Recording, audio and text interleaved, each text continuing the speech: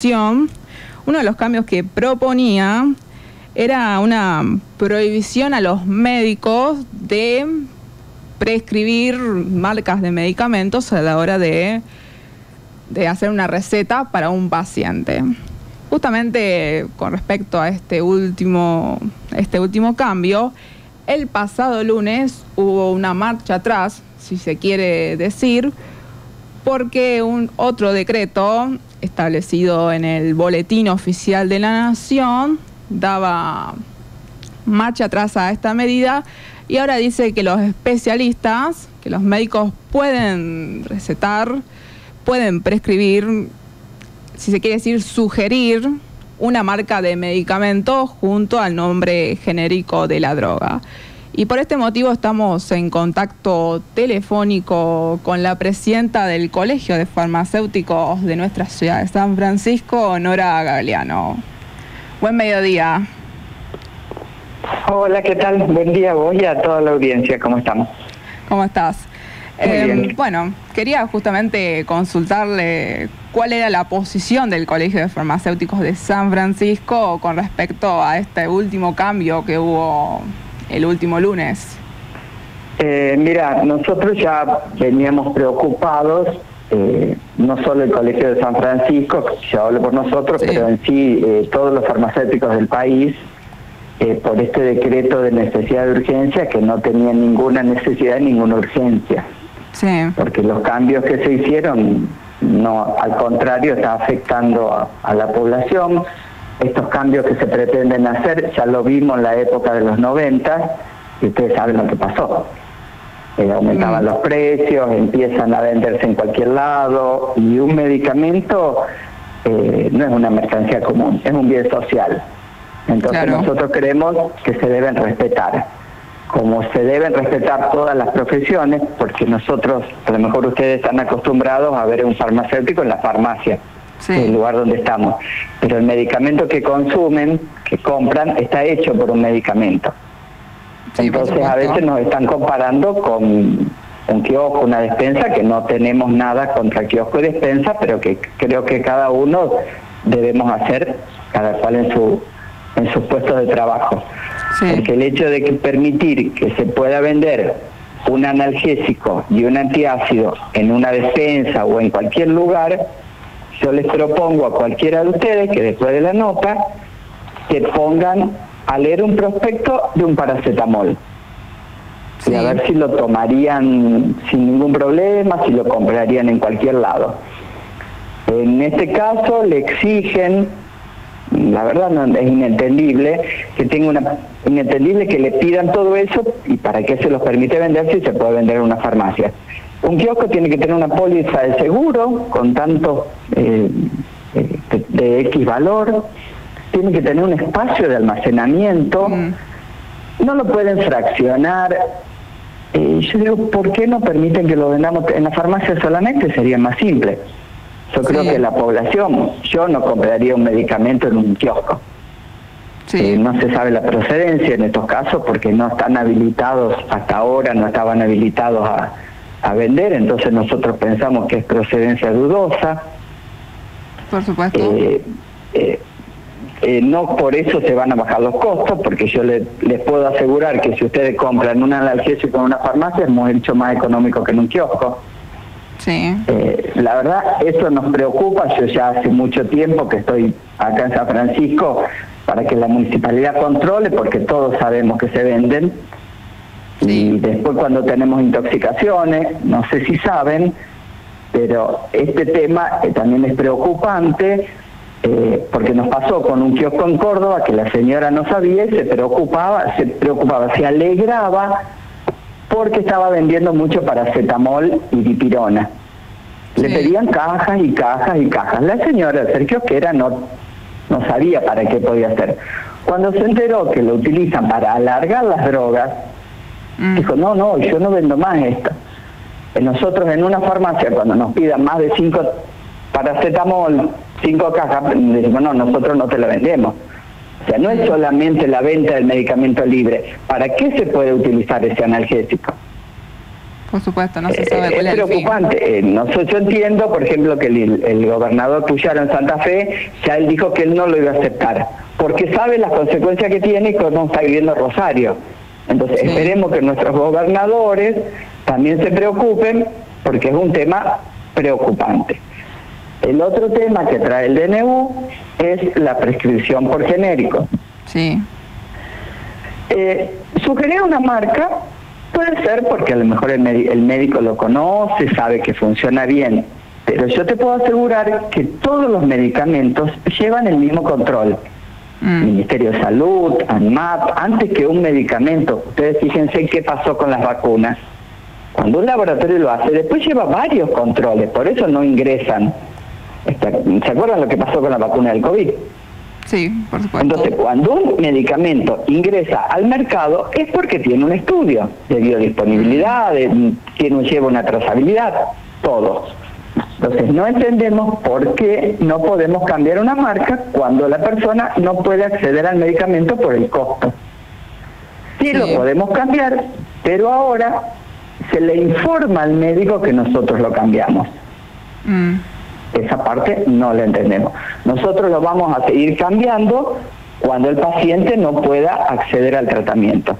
A mí me pasó, yo siempre, nosotros estamos autorizados en cambiarlo mientras respetemos la misma concentración, la misma presentación, la misma cantidad de, medicamentos. Te doy un ejemplo. El enalapril, que es para la presión, de 10 miligramos por 30 comprimidos. Yo te puedo venir a la farmacia y decir, mira, el médico te recetó este. No llego porque es muy caro. ¿Hay otras opciones? Sí. Está esta y esta, pero siempre te tengo que dar de 10 miligramos por 30 comprimidos. No te puedo dar de 20 si, bueno, vos tomás la mitad. No. Eso sí lo tenemos que respetar. Pero el otro día me pasó una señora, tenía la obra social cortada, que tampoco no es raro en esta época, mm o haya gente que no tiene obra social, un jarabe para su hijo le costaba 15.500 pesos. La señora quedó horrorizada porque sabemos la situación que estamos viviendo. Agarré otro, le digo, mira, este tiene, yo les muestro siempre las dos cajas, las mismas drogas, la misma concentración, la misma mililitros, vos vas a hacer el mismo tratamiento y salía 5.500.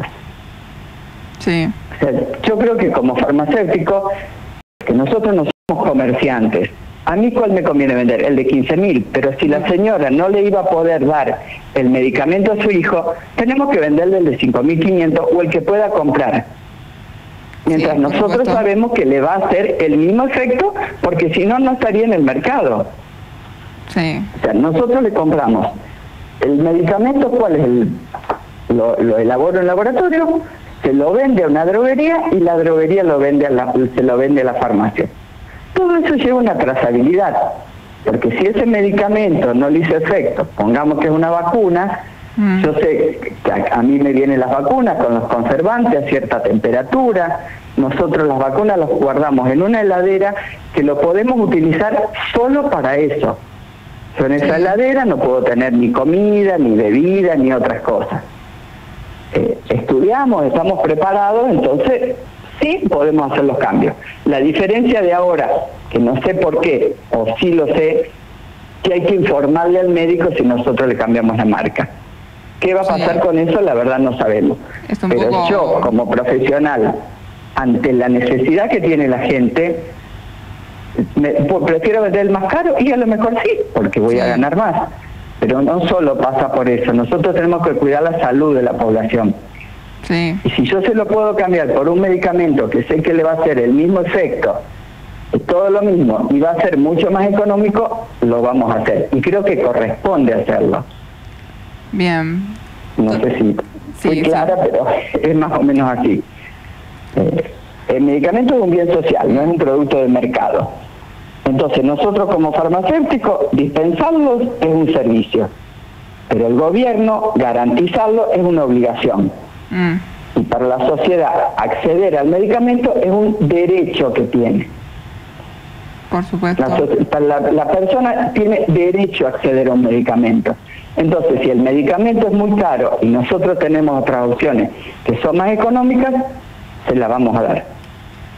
Eh, que no se asusten porque a, veces hasta nosotros nos asustamos con el precio que tienen. Pero bueno, hay otras opciones más económicas y, lo vamos a hacer.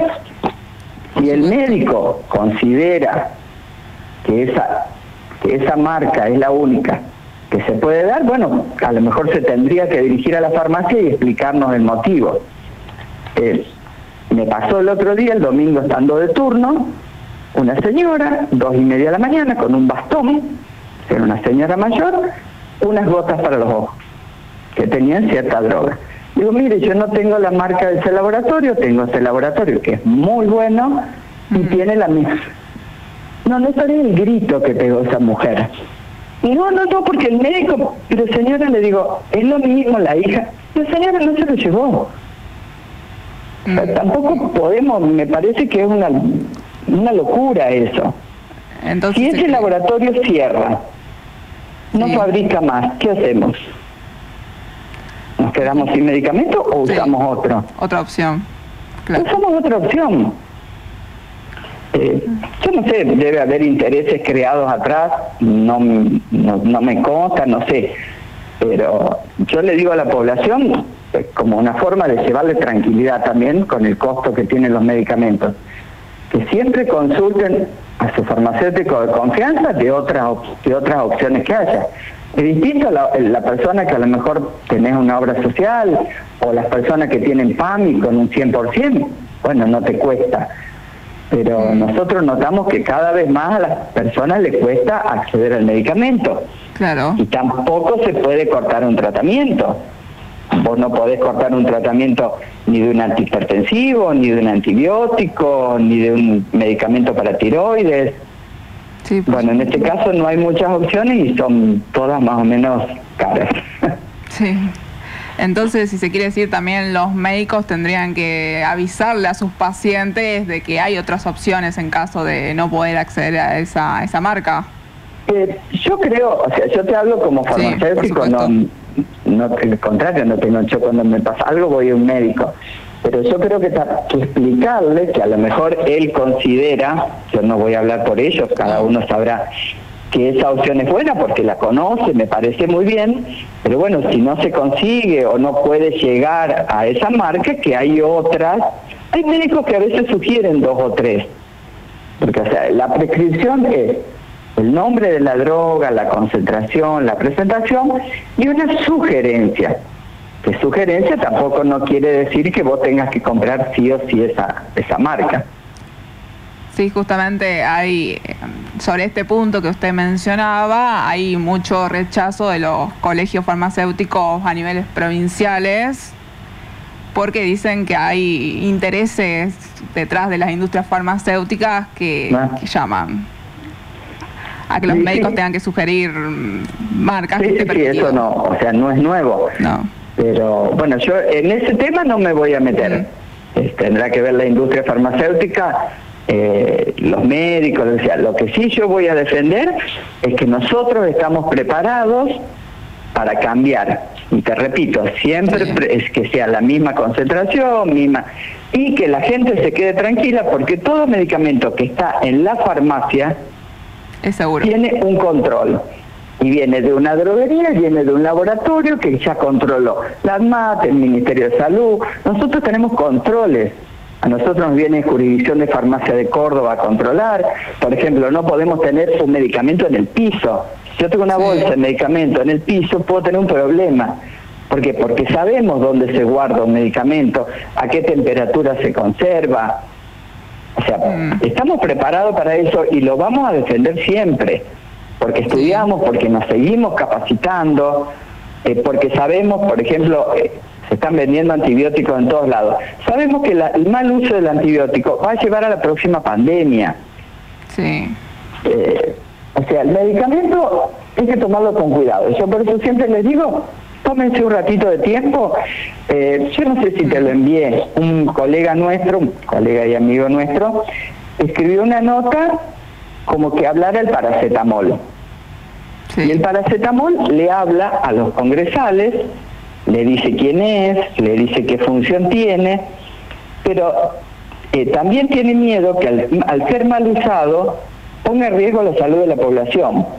Eh, si querés después te la envío, está muy linda. Mira, hoy me comentaban que hasta en Perú eh, un colega en una radio lo leyó porque le pareció muy interesante. Y termina diciendo, soy un paracetamol, un medicamento de venta libre, pero solo en farmacias. Mm. Creo que necesitamos cultura en, educación. Nosotros justamente estábamos hablando con los farmacéuticos y a lo mejor eh, dar charlas, yo siempre doy el mismo ejemplo. Eh, a lo mejor cuando mis chicos eran chicos uno los llevaba en el auto sin cinturón, sin sillita. Y ahora no subís nunca un chico un auto adelante, el 90% hay casos que sí, eh, las luces prendidas en el auto, es una cuestión de educación y a lo mejor de multas. Porque si nosotros pagamos una multa es como que nos cuesta más. Mm. Eh, bueno, a lo mejor educar a los chicos desde la primaria, que son los que más absorben, eh, decirle dónde se compra un medicamento, cómo se conserva un medicamento. La mayoría de la gente, ¿dónde lo pone? En el baño y en la cocina. Vos fijate una película más yankee, que ellos hacen mucha publicidad de medicamentos y así son los problemas que tienen en, drogadicción, abren el botiquín del baño. Y el baño es un lugar donde cambia mucho la temperatura. Porque está frío, vos te bañás, hace calor, está húmedo, vuelve a estar seco. La cocina tampoco, vos prendiste el horno, eh, subió la temperatura, lo apagaste, bajó. El lugar ideal es donde una temperatura se mantenga más o menos estable explicarle eso, y entonces cuando la mamá a lo mejor se dirige al kiosco a comprar un analgésico, el chico le dice, mira mamá, estuvieron unas personas nos dijeron que es mejor comprarlo en una farmacia. Sí. Yo creo que todo se tiene que hacer desde chico, eh, desde el, bueno, acá vemos lo que son el uso sin, sin casco y sin patente de las motos, que la verdad a mí me está aterrorizando. Y con el medicamento, nosotros como farmacéuticos, decimos, bueno, a ver, dirijámonos a la población chica y eduquémonos, porque creo que no, como país nos falta educación en muchas cosas. Y respetemos todas las profesiones. Nosotros somos farmacéuticos, te podemos hablar horas enteras de cómo es un medicamento, cómo se conserva, los efectos adversos. Déjenos en esa profesión y la persona que tiene un kiosco, bueno, que se dedique a lo del kiosco, porque un analgésico y un antiácido no es un caramelo. Por supuesto. No me quería, no me quiero desviar del tema, solamente, bueno, también usted hablaba de la falta de conciencia y también hay mucha mm, sobre la falta de conciencia con respecto al consumo de antibióticos, que está desmedido completamente y se lo consume como si fuera un medicamento más y no lo es. Eh, es, bueno, nosotros lo vemos en la farmacia, yo el, año pasado el Colegio de Farmacéuticos dictó un curso muy largo porque, como yo te decía, es la próxima pandemia. A su vez vos decís, sí, yo no consumo, mucha gente a lo mejor es virósico y toma un antibiótico, entonces cuando vas a la farmacia le decís que no es necesario, ahora no se vende sin receta. Vos decís, no lo consumís, pero el pollo que consumís tiene antibiótico. El agua del mar está contaminada con antibióticos. Porque ¿dónde tira la gente? Otra cosa que estamos haciendo este año, ¿cómo descarta la gente los medicamentos? Mm. ¿Vos dónde lo tiras cuando se te venció una a la basura?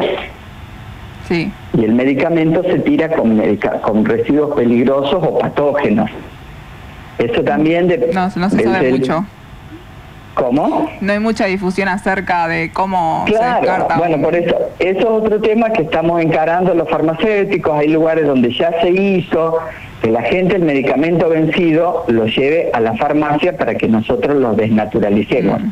Es otro trabajo más que tenemos, sí, pero es una forma también de salvar el planeta. Hay mm. muchas cosas para hacer y mucho para para educar. Por eso nosotros siempre le decimos, una duda que tengan de lo que fuera del medicamento, diríjase a su farmacia. Eh, ya sea cómo descartarlo, eh, eh, cómo tomarlo, cómo conservarlo. Unas gotas para los ojos. Mm. Cuando vos lo usás, por más que te quede, no la puedes guardar, porque eso se contamina y después cuando te lo quieras poner a los tres meses, es peor como si dice remedio que la enfermedad. El médico cuando te lo da te tiene que decir. Y nosotros cuando lo venía a buscar a la farmacia le decimos lo mismo. No es que le queremos vender, pero cuando termina el tratamiento lo tenés que tirar. Claro. Eh, son todos eh, tips, cosas que uno, bueno, a mí en la farmacia, como verás, me gusta hablar, me gusta decir, yo se lo digo a los pacientes, el uso indiscriminado de antiinflamatorios, eh, que te mm. trae insuficiencia renal, podés ir a diálisis, a trasplante. Eh, el, mismo que decíamos recién, el, paracetamol es hepatotóxico, o sea, te produce una toxicidad en el hígado. Entonces no es consumirlo porque nosotros cuando nos juntamos farmacéuticos, a veces en charlas, eh, nos reímos porque, nos reímos entre comillas, mm. porque decimos que la Argentina es el único lugar donde se combinan medicamentos. Mm. Eh, si vos, los hombres van a jugar al fútbol o te duele algo, tómate esto. es una locura. Eh, la persona que te lo da no sabe si vos sos diabético, hipertenso, tenés un problema renal. A vos te debe haber pasado, cualquiera nos pasó. Eh, tomate esto, bueno, ni hablemos de los psicotrópicos. Mm. No podés dormir, toma esto. Eh, eh, nosotros notamos que últimamente también queremos todo rápido. yo lo, lo, veo, te doy un ejemplo que es más sencillo. Las cremas para la cara, mm. para las arrugas. Yo siempre digo a las mujeres, sí, son buenas porque te borran las arrugas, pero va acompañado de una alimentación, de cuidarte del sol. Le digo, si no se creen que las grandes artistas no se harían lifting, usarían las cremas que hacen maravilla y, bueno, lo mismo pasa con los medicamentos. Eh, nada es inocuo, si lo tomó tu vecina no tenés por qué tomarlo vos. Nosotros también estamos en contra, pero ya creo que perdimos la batalla de todas las publicidades que se hacen en, mm. en la televisión. Y vos notás eh, que cuando viste una publicidad en la televisión, al día siguiente lo tenés que tener porque la gente quiere y ese. Sí. Eh, bueno, es todo un problema, pero yo creo que es de parte mía y de los colegas que trabajamos siempre, debemos educarlos. Yo puedo educarte a vos en lo que es, educarte es una forma de decir, en lo que es medicamentos. Cuando yo necesite Siempre doy el mismo ejemplo, hacer una casa donde voy de un arquitecto, de un ingeniero. Yo creo que cada uno debemos respetar las profesiones. Sí. Y nosotros estamos preparados para eso, para eso estudiamos, para eso nos seguimos capacitando, porque nos exigen dentro de nuestra profesión que hagamos cursos. Y lo que te decía del antibiótico, eh, la próxima pandemia, porque no están saliendo antibióticos nuevos, o sea, formulaciones nuevas, eh, y las bacterias se hacen resistentes. ¿Qué quiere decir? Eh, para producir el mismo efecto, o tenés que tomar más o tenés que cambiarlas. Va a pasar un momento que a lo mejor te van a hacer un trasplante de corazón, salió espectacular el trasplante y cuando tengas que darte antibiótico no van a, no van a tener efecto. Y es un problema, la Organización Mundial de la Salud está tratando ese tema. Eh, están las universidades, eh, se están mm. dando charlas todos los años por ese tema de, los medicamentos. Pero bueno, como te